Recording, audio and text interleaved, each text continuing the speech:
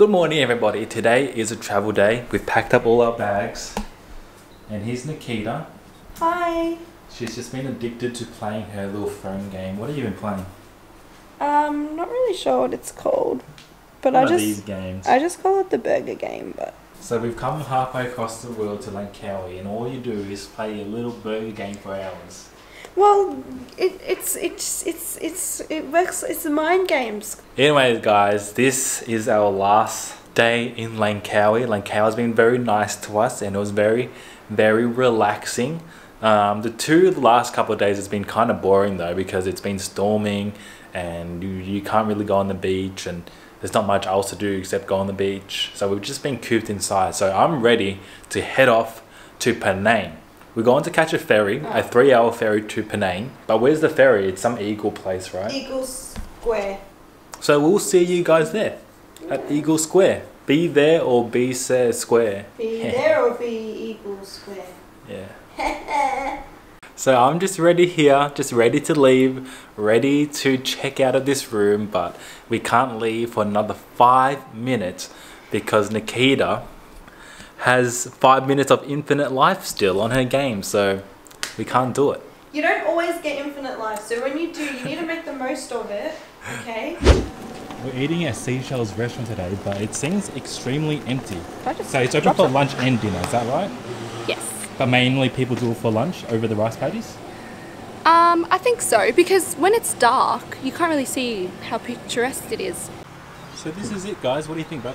I love it so far, and it's actually it's really hot outside. But when you come in here, it's nice and shaded, so it's pretty cool.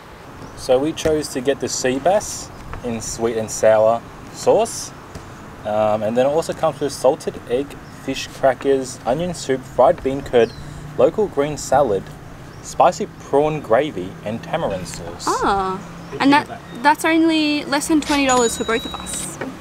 That's pretty damn cheap. That is cheap. That's like $10 each. Mm. The skin is very crispy.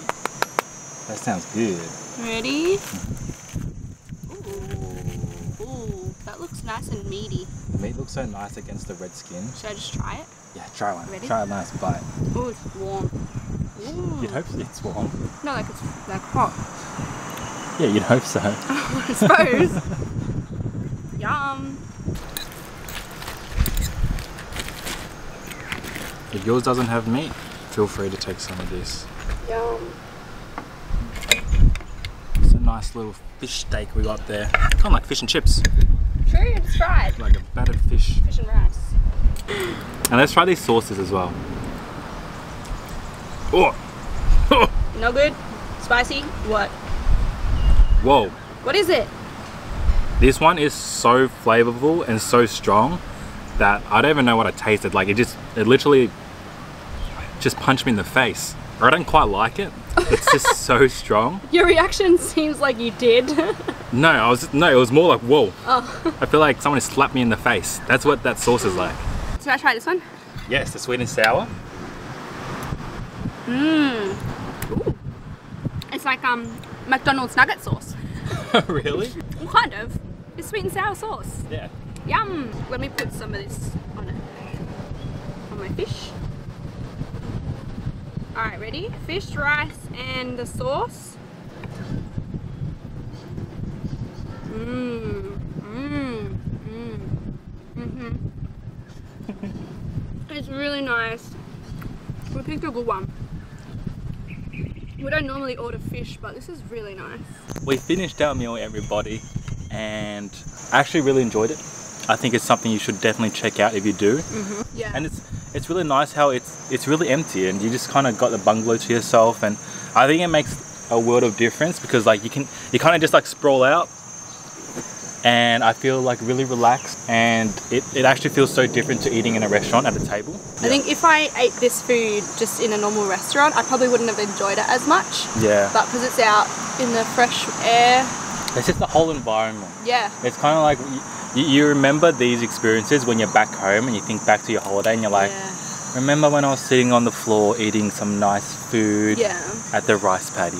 yeah. We're here at Eagle Square because we're catching a ferry to Penang at 3 o'clock. So we have like two and a half hours to kill. Oh, what I keep saying, You gotta stand in front of me. Look how big you make my head look. Yes, and it's called Eagle Square because there's a big eagle there. It looks small right now on my fingers, but it's actually quite huge.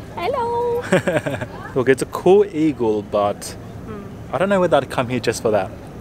You want to take a picture with it, don't you? of course I do. What?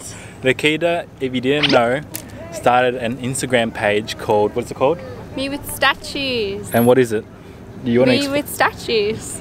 But this one might be a bit too big. Yeah, we'll do it. I, I named the Instagram page for her. I thought it was very clever, very straight to the point, Yeah. very easy to understand. Yeah. Because there's a lot of stupid people out in the world, isn't there? Yeah. I'm just joking. Well, not really, but I'm one of those people, so it's alright.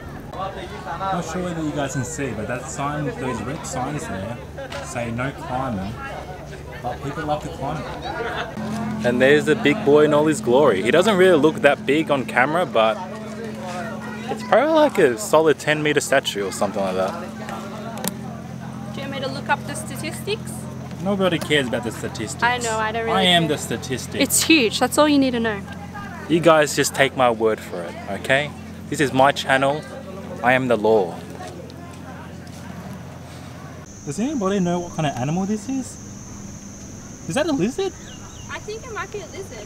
A It's like- lizard's related to alligators. I don't know, but it's like the size of a baby alligator. It's so big. Well, I I thought it was an alligator. What the heck? Look at this guy, he's huge. We then boarded the ferry and strapped ourselves in for a three hour ride to the food capital of Malaysia, Penang. We made it to Penang, everybody, and we're staying in a place called Georgetown. We just got off the ferry. Thank God as well. I was starting to get really sick on the ferry. I had to And- eat the Pringles in case he needed to puke in the tin. Yes, that's why you ate the Pringles. it's like a one to two kilometer walk to our hotel, and we're gonna walk there instead of catching a taxi, which only costs about a dollar. Bit over, it's under two dollars to catch a taxi, but you know this way we get to see a bit of G Town, Georgetown, for you non-locals. Over in G Town, we call it G Town. Oh. Are you like, Yes. Ah. I'm part Malaysian if you guys didn't realize. It's actually really pretty here. It looks like really old. It looks like looks kind of like an old English town or old American town or something like that. Um, but I wonder why it's called Georgetown. It's a very Caucasian name, isn't it? I wonder who George is and what he did to get a town in Malaysia named after him. maybe we'll have to look it up. Yeah.